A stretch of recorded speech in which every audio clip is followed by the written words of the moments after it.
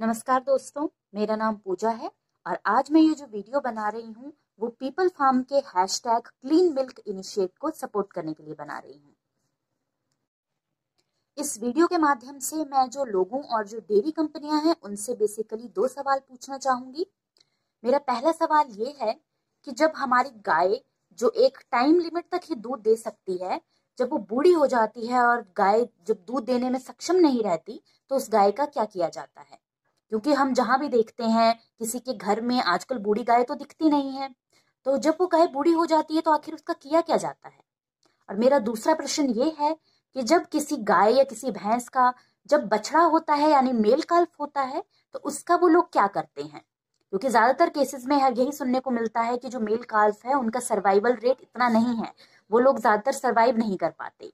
लेकिन ये बात सरासर गलत है, जो कि हम सब लोग जानते हैं तो मैं यही पूछना चाहूँगी कि आखिर उन बछड़ों का क्या किया जाता है? अब आते हैं इस बात पे कि आखिर हमें ये वीडियो बनाने की ज़रूरत क्यों पड़ रही है? मैं अपनी बात करूँगी कि मुझे ये वीडियो बनाने की ज़रूरत क्यों पड़ी या मुझे क्यों लगा कि ये वीडियो बनाना ज़रूरी है? क्योंकि मैं अपने बारे में बात करूँ तो मैं एक वेजिटेरियन हूँ और मैं वेजिटेरियन इसलिए नहीं हूँ क्योंकि मैं नॉन वेज को खाना नहीं चाहती या मुझे किसी फ़ूड में दिलचस्पी नहीं है।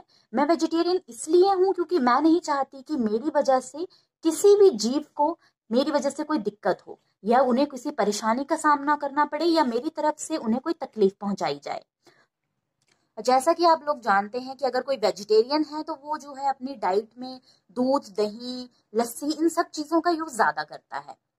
लेकिन मुझे भी रिसेंटली ये चीज़ पता चली कि हम जो ये दूध या दूध के प्रोडक्ट यूज़ कर रहे हैं, वो भी कोई बहुत क्लीन मिल्क से नहीं आते। यानी कि ऐसा नहीं है कि इस दूध को लेने के लिए जानवरों को तकलीफ़ नहीं पहुंचाई जाती। जो भी बाकी इंडस्ट्रीज़ है, वहाँ पर ये चीज़ खुले तौर पर की जाती है कि हाँ हम जानवरों को मार रहे हैं, उनसे ये प्रोडक्ट्स ले रहे हैं। लेकिन जो डेयरी इंडस्ट्रीज़ हैं, वहाँ पर ये काम किया जाता है, लेकिन वो बहुत ही गुपचुप तरीके से हो रहा है और जो लोग हैं जो नहीं चाहते किसी और को तकलीफ़ पहुंचाना, ये उनके साथ बहुत बड़ा धोखा है।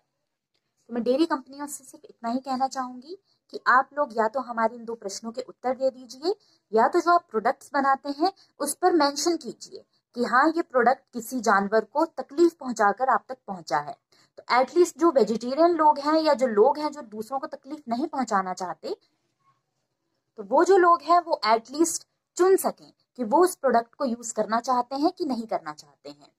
और सबसे बड़ी बात यह है कि जो भी ये चीज़ें हैं, इन्हें लोगों के सामने लाया जाए। हमारा मोटिव यही है कि ये जो छुपी हुई सच्चाई है डेयरी इंडस्ट्री की, वो सबके सामने आए। क्योंकि ये चीज़ नॉर्मली हमारे आसपास के घरों में भी हो रही है, जो हम तक दूध की सप्लाई करते हैं। लेकिन ये ऐसी बात है जिससे कभी उजागर नहीं किया जाता। और ज़्यादातर लोग, या मैं अपनी ही बात करूँ तो मुझे इतने एज आने तक नहीं पता था कि हमारे दूध के लिए किस तरह से जानवरों को परेशान किया जाता है। आई होप जो डेयरी इंडस्ट्रीज़ हैं, वो हमारे प्रश्नों के उत्तर देंगी और जो सच्चाई है, वो हम सबके सामने